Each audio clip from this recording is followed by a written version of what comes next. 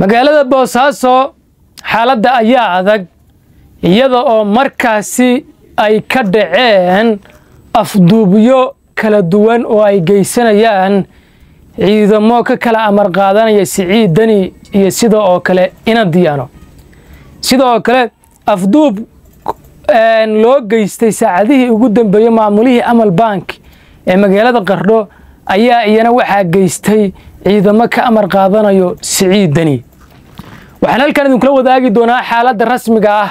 Arrintan maxay salka ku haysaa? Maxaa xilligan soo cusboonaysiiyey? Deni oo markaasi ku fashilmay inuu hub iyo saanad ciidan ka helo bulshooyinka puntland ee ku dhaqan gobolka mudug. Waxaan sidoo kale dul istaagi doonaa xaaladihii ugu dambeeyey ee magaalada boosaaso. Soo dhowaada dhammaantiin muuqaalkan sii shargaraya dhammaantiin laygaraya aad ba mahadsantiin. Waa marka koowaad maxay isku hayaan? Deni iyo ilmo diyaano xilligan maxaa ku soo aadiyey? Qodobkaas haddaan si guud u faahfaahiyo ilmo diyaano iyo deni waa iyadii dagaalla ku dhex mareen boosaaso laba kun labaatan iyo kow dibna waa isagii deni raggii ula dagaalamay darajooyinka iyo dallacsiinta siiyey waa iyagii heshiiyey.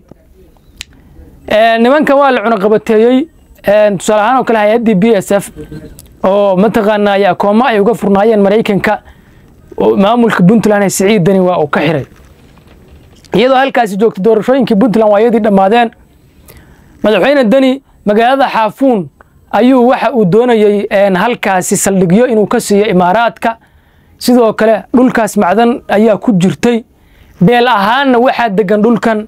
Beesha ay ka soo jeedaan ilmo diyaano. Ilmo diyaano iyo deni markaan leeyahay beeshaas ama waa jufida? Waa rag ilmo adeera. Dhammaantood. Jufida ay ka soo jeedaan ilmo diyaano ee bahdir ayaa halkaasi u badan. Markii deni uu halkaasi wiilkiisu tegay xasan deni oo mataqaanaayey uu xaafuun tegey waxaa la rabay markay in imaaraadkii ay soo degaan. Nimankii ilmo diyaana ah markay magaaladii tegeen magaaladii xaafuun saldhigyada imaaraadku uu keeni lahaa ayay ka biyo diideen iyagoo dhahay waa in beersandejna laka siiyo macdantan iyo waxaan halkan laga kala guranayo iyo saldhigyadan.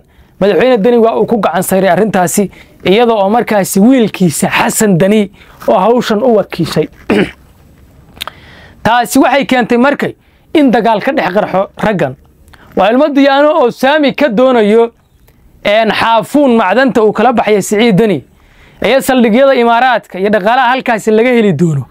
In mataqaanaa saami laga siiyo maadaama deegaanka ay iyagu ka soo jeedaan oo beel ahaanna ay degan yihiin iyo deni oo ku gacan sayray. Ilmo diyaana ciidamay halkaasi geeyeen. Weliba ciidankii ugu badnaa ayay meeshaasi geeyeen. Deni waa isagii inta bari ka soo tegey oo gorowa yimid waa isagii mudug joogay. Ayaantan oo dhan mudug buu ku meeraysanaya ciidama ha lay siiyo mataqaanaayey waxaan u baahanay meeshii daacish iyo al-shabaab baa qabsatay gobolkii bari. Markii ugu dambeysay wuxuu yidhi reer mudugow gobolkii bari gacantayda kuma jiro. Ee hub iyo ciidan ha la isiiyo reer muduguna waa og yihiin xaaladda rasmiga ah ee puntland ay wajahayso iyo qaabka uu dani wax u dhaqmayo. Taasi waxay keentay in gobolka mudug ay ka biyo diidaan si cad odayaashii nabadoonnadaah way u sheegeen siciid daniyo mar baan kuu hilinay oo aan islahayn waa nin puntland aaminsan jiritaankeeda balse waxaad noqotay ayay ku dheheen ganacsade dhiilar ah. Taasina waxay keentay inuu deni ku suhangoobo gobolka mudug. Ilmo diyaano markay sheekadii ka war heleen nimankan ilmo diyaano ma rabaan inay ka hortagaan deni oo ciidamo puntland iyo qabaa'ilka puntland soo kaxaystay sidii kale oo ku dhacday in la go'doomiyo. Ayay ka baqayeen waxayba bilaabeenba tallaabooyin gacanka hadal ah. Magaalada boosaaso ayay shalay waxay ka afduubteen nin ahaa agaasimihii garoonka diyaaradaha oo reer geesooda oo siciid cabdulaahi deni ay ilmo adeer bay afduubteen. Ayadoo halkaasi ay joogto shaakay magaalada qardho nimankii bahdhul bahante ee siciid deni ka soo jeeday.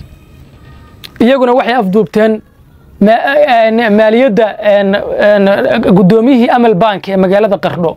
Isagoo weliba masaajid ku jiro ayaa ciidamo darayskii soo bedeshay oo qolyahan b m b f ta ka tirsan ayaa afduubtay maashi maxay isku bedeshay qabiil? Siciid cabdulaahi deni muxuu doonay inuu shaati dowladeed gashado? Halkaasi markay joogto horta nimankan waa cismaan maxamuud.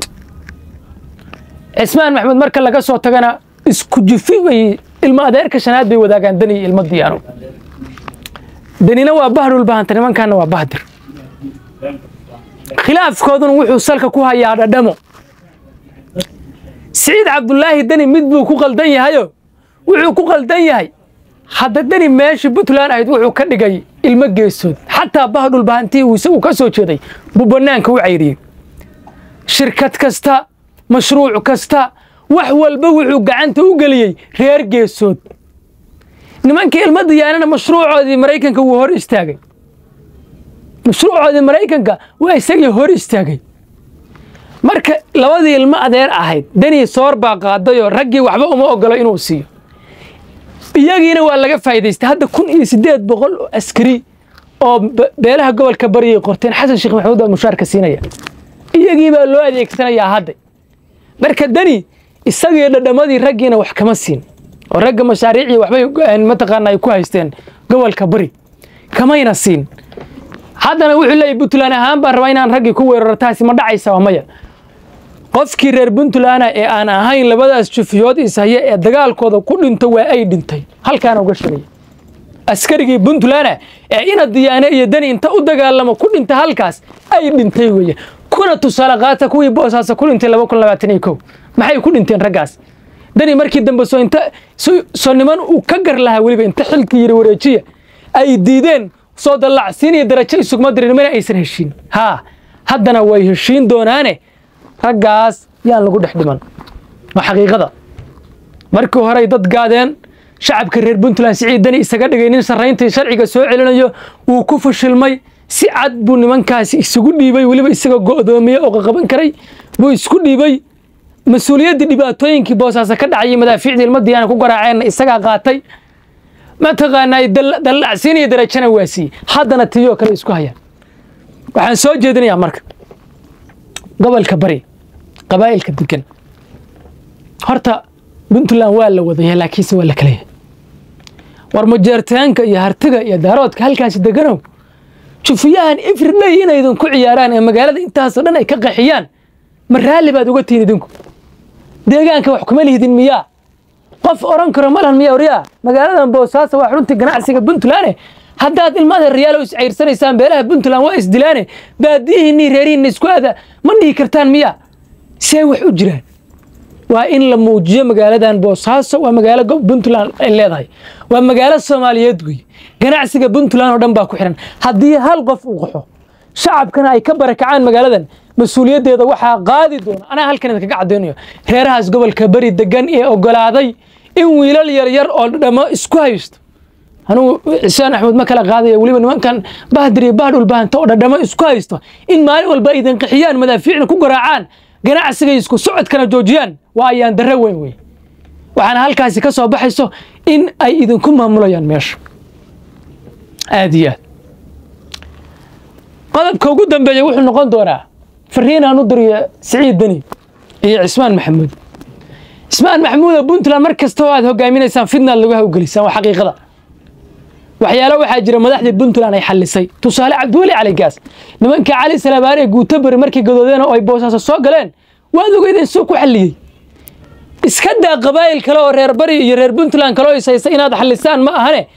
Jufiyihii cismaan maxamuud dhexdiisii baad xallin laadii ayb xamar bay aadeen kuwo kalena waa kuwaana puntland taagano waa deni deni la fahayo dhagartiisii la fahanyey kuwan kalena waa la soo adeegsanayaa warilmaade rayaalow mar dambeba haddaad noocays tihiin puntland madaxweyne dambe idan kama dhigayso laydinkumana aaminayo allah u naxariista jenaraal cadde muusaan ogeyno macdantii isagoo u socda gobolka bari sanaag waa isagii beel dhan argagixiso ku shaabadeeyey burcabadeedda xilligaasay bilaabatay deni baa imaaday wax kasta iyadoo isku dabiradan oo burcabadeed aysan puntland ku jirin oo gacanta ku dhigay. Haddeeray bilowdeen burcabadeedii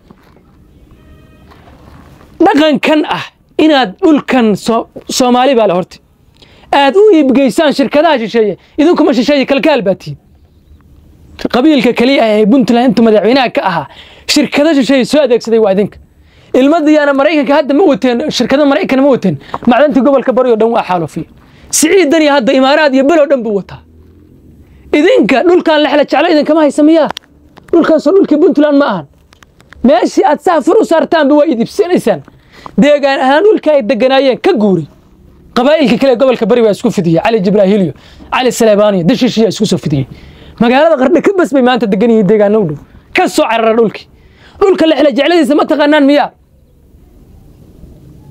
Arrintaasina waa arrin laydinkala xisaabtami doono puntlandna jifiyo cismaan maxamuud ays haysto dagaal sokayo u aadi mayso runtaa laydiin sheegaya waana la iska kiin qabanaya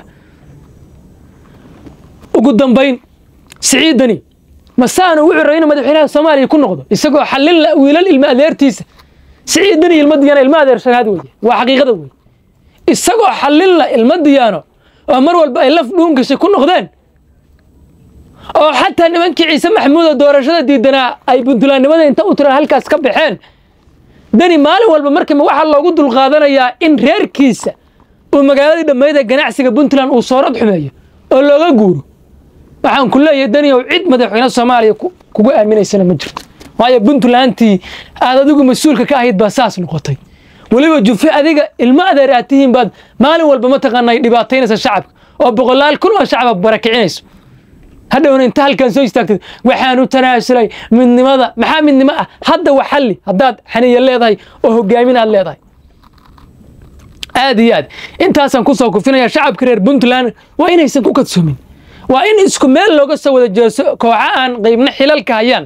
Ee madaxda sheeganayso qaybna hay'adahan sirdoon ee gaalada u shaqaynaya imaaraadka iyo mataqaanay maraykanka waa in la iska qabto dhulkan reer puntland baa macdanta ku taal dhulkaasi laga guranayo. Dan iyo qoyskiisu ma qaadan karaan. Ilmo diyaanana ma qaadan karaan. Laba wiiloo ilmo adeerana macdanta puntland mataqaanaaye kuma gorgortami karaan. Waa in runta la isku sheego. Dastuurkii puntland haddii la jabiyo hana sheego.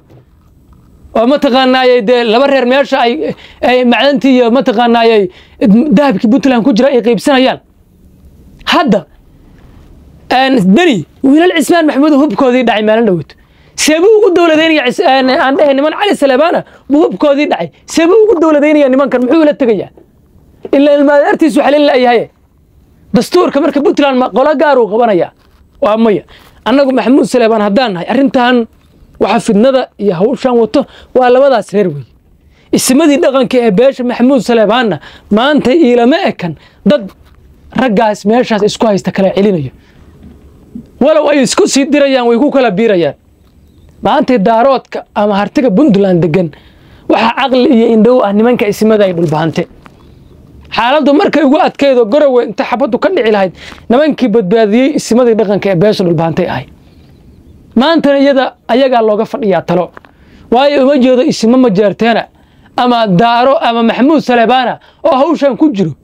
Walow ay la kala safan yihiin simada dhaqanka ee beesha harti gaar ahaan beesha dhulbahante waxaan leeyahay hawshan waa inaad soo faragelisaan oo mataqaanaaye dadkan runta loo sheego. Isimadan dhaqanka gobolka barina iyadana tallaabo waa inay ka qaadaan gobolkan gobolku baylaan ma ahan.